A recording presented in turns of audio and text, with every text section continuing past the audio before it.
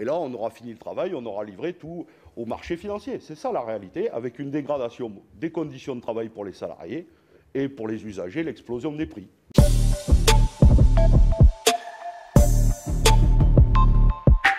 Moi, je suis tout, euh, une réflexion et puis une question. La, réflexion plutôt amicale, je vais le dire comme ça. C'est toujours très euh, intéressant d'entendre euh, des, grands capitaines d'industrie, je vais le dire comme ça, qui, ont dirigé des grandes entreprises, comme vous, lorsqu'ils sont en retrait, ce que vous nous avez dit, parce que c'est toujours très intéressant. C'est là où ils nous disent, je peux dire la vérité, je n'ai plus pieds et poings liés. Souvent, ils nous disent, il faut augmenter les salaires. Souvent, ils nous disent, les OPA, c'est pas bien.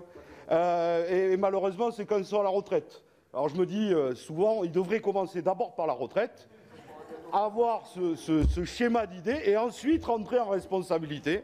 Parce que bon, quand même, euh, Monsieur Mestralet, bon voilà, vous en avez conduit six et vous l'avez dit, et il y a quand même eu un peu de casse sociale. Hein. J'étais encore hier avec les salariés d'Engie et d'EDF, ils se rappellent de vous et de la fusion. Voilà, donc je dis ça euh, comme ça, mais de façon tout à fait amicale. Mais c'est bien, il faut garder ces bonnes idées. Donc si vous voulez reprendre la tête d'une grande entreprise avec ces bonnes idées, tant mieux. Non, très rapidement, euh, deux questions principales, mais notre collègue Cadec l'a dit, moi, sur, la question de l'État quand même. Parce que euh, je ne peux pas croire que l'État ne savait pas. Et il y a une question, moi, qui me hante, c'est qu'on nous a expliqué que l'État allait garder, euh, donc allait baisser euh, euh, ce nombre d'actions d'ANJ, mais allait garder ce qu'on appelait la golden share, et qu'en cas de questions stratégiques, même en état actionnaire minoritaire, il pourrait bloquer un certain nombre d'actions.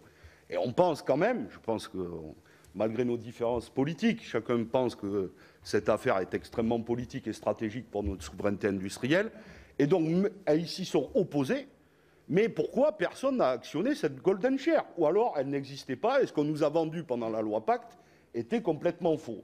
Donc là, il y a une question, euh, évidemment, ce n'est pas vous, c'est peut-être un éclairage, mais il faudra euh, quand même, je pense, que Bruno Le Maire euh, nous explique. Et puis la deuxième question, c'est ce qu'a dit Jean-Claude Tissot.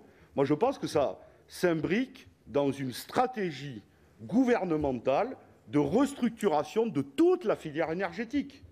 Parce que quand on prend Alstom, General Electric, le projet Hercule, le projet Clamadieu, votre successeur, qui va scinder l'entreprise en deux, en livrer une partie au marché financier comme le projet Hercule, en faisant peser la menace que sur une partie des activités aujourd'hui d'Engie, Total viennent reprendre les départs, c'est une question. C'est-à-dire, c'est une restructuration profonde de tout le secteur énergétique dont nous aurons vu dans cinq ans. Et donc, la première étape, c'était pour Engie de se débarrasser de Suez et de le donner à Veolia. C'était ça, recentrer et ensuite découper.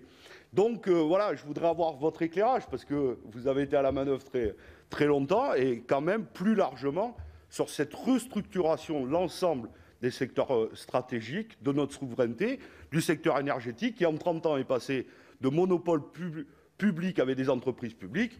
Et là, on aura fini le travail, on aura livré tout au marché financier. C'est ça la réalité, avec une dégradation des conditions de travail pour les salariés et pour les usagers, l'explosion des prix. Voilà, je vous remercie.